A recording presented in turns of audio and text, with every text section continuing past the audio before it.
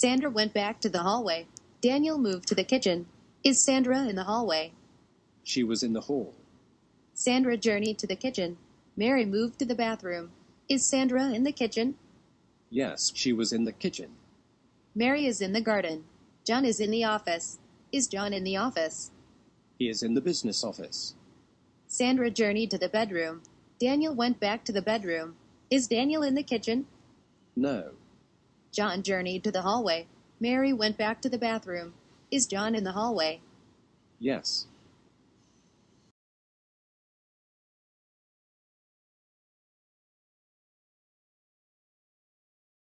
Fine.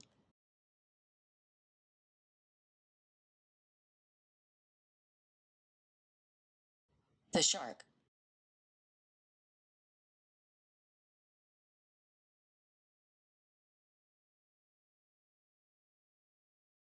At the beach.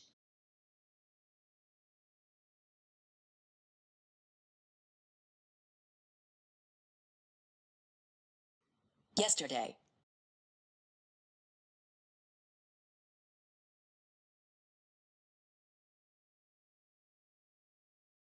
Because it was hungry.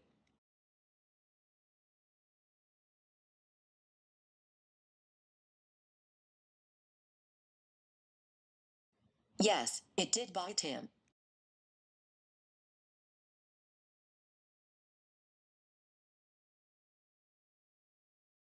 No, but it did bite the surfer. Let's have a look at the semantic representation of the shark bit the surfer at the beach yesterday because it was hungry.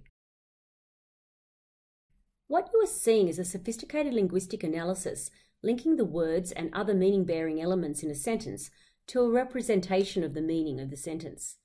Pat identifies the verb and calls up its semantic representation or logical structure, which has slots for the phrases that must co occur with it in order for it to make sense.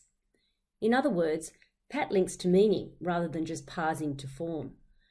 Please drop us a line and let us know your thoughts or questions. We'd love to hear from you.